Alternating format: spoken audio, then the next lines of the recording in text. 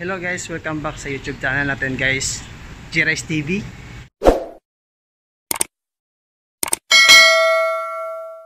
So for today's video is ayan. Ito nyo ba guys? Magtitint tayo ng sasakyan guys. Ayan, so ito, titint natin tong sasakyan ng kilala natin guys. Ah, Transformer minivan. So kita nyo guys, yan minivan siya. So ayan, papalitan natin yung tint niya at pakita ko sa inyo guys kung paano ang process ng pagtitint. Pero bagong lahat guys, hit mo ng like, subscribe sa YouTube channel natin. Thank you. Ah, meron siyang dating tint. Tatanggalin natin yung tint niya. And then yun, papalitan natin ng bago. Then i-installan natin yung likod niya guys. Itong likod niya, sa gilid tsaka yung likod. Ayan. So, nakita nyo guys, colored yung glass niya guys sa mga Japan ng mga ano no, sa mga Japan ng mga unit. Kasi ganito ng Japan. So, colored na yung glass niya, pero sa sa loob niya guys is wala siyang tint. So, lalagyan natin ng tint and then yun, pagkita ko sa inyo guys kung ano kailangan ng mga gamit at yung mga materials na gagamitin ko. A few moments later. So ayan guys, no, ito yung kailangan natin na gamit. So mismo, itong kailangan natin ang materials natin ang tint. So meron tayo ditong super black.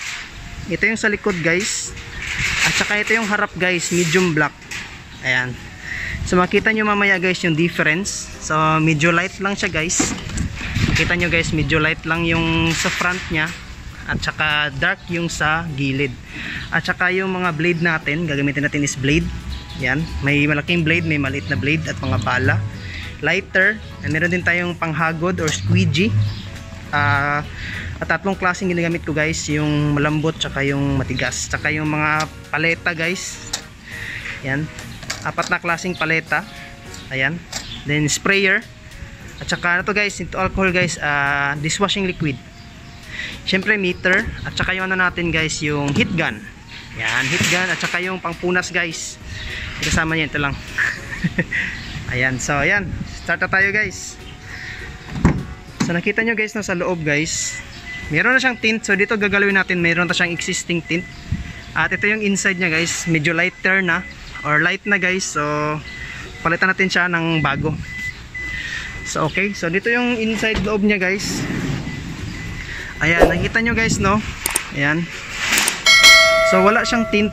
Ayan, makita nyo guys pag mayroong tint ang unit. Ayan guys, oh. Yan nakita nyo guys. Ayan. Sa kabila. Ayan guys, na-on ko guys. So kita natin guys. Ayan. Wala siyang tint sa ito yung may tint guys.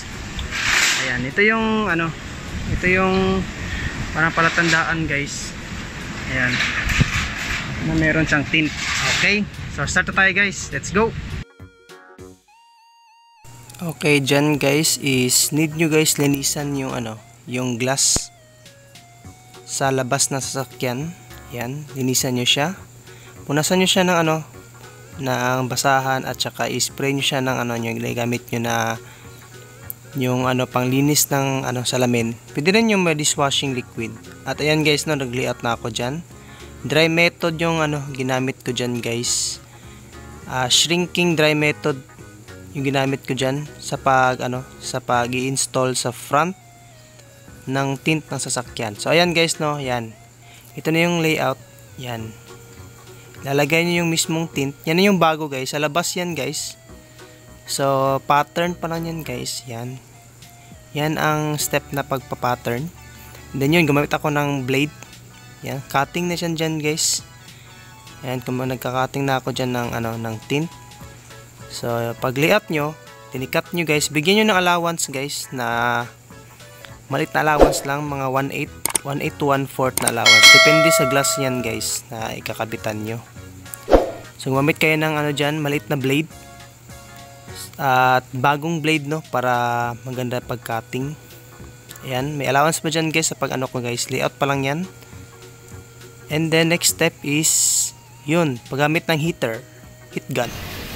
Ayan, heat gun nyo siya guys para mag-shrink yung mga bubbles bubbles niya guys and then ma ma-shrink nyo yung ano, yung mismong tint natin para bumagay siya sa shape ng glass. So ayan. So, sa kabila naman guys, so equal yan siya guys. So maraming method guys sa pag-shrink ng tint. Merong wet and merong dry. So sa procedure na to is dry method guys. Okay. Ayan guys, magtatanggal na tayo ng lumang tint niya. So ayan, tanggalin natin tong lumang tint. Ito yung lumang tint niya guys. Ayan, tanggalin natin guys. Ayan, oops. Ayan, kita niya guys. Ayan, kala nyo walang tint pero meron siyang tint guys. Ayan, one hand lang guys. Tanggalin natin. Ayan. So sa technique ko sa pagtatanggal guys no, tinitira ko muna ng heat gun. Ayan, nakita nyo kanina, na heater tayo para yung glass medyo mainit pa. At pag mainit pa guys, medyo malambot pa tanggalin yung ano, medyo malambot tanggalin yung lumang tint niya guys. Ayan, tanggalin lang natin. Ayan, so Ups, yeah. Okay. Ah, sa kabila guys, yan tanggalin natin dito guys. One hand lang to guys. Ayan, kita nyo guys no. Meron yung tin sa loob. Ayan, tuklapin nyo lang konti and then ganyanin, ganyanin nyo lang sa kamay. Ah, pwede nyo to i-DIY guys. So, sa mga sasakyan nyo guys, kayang-kaya nyo yan guys, tanggalin. Ganyanin lang sa kabila. Sa hila lang. Ang pahila guys is pal palabas. Yan. So, hindi naman mababasag yung salamin nyo guys. Stable naman. So, sa tagal ko na nagtatanggal ng tint, wala pa bang sumasabog na salamin. Ayan guys, tanggal na guys yung tint niya. Ayan. Tagalan natin din sa baba. So, ayan na guys. May naiwan pa konti. Ayan yung dating tint niya guys. Ayan. Ayan. Okay, malinis guys. Sana yung eh, kakabit natin. So kung nakita nyo guys, ayan, ayan yung brand niya guys. Oops, di maklaro. Ayan. So ito natin sa labas guys.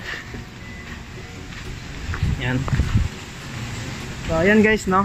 Ayan yung dating tent natin. So na hit, na hit gun ko na yan guys. Ayan guys, nakita nyo guys. Sa labas natin siya pina-pattern. Ayan, yan yung tint. Ayan yung glass. Ayan, sa labas siya guys. Ayan. Okay. So, kabit na natin to maya maya. Guys, ayan guys, no, nilinis na natin guys. Ayan. Kita nyo guys, tinanggal natin tint at nilinis natin.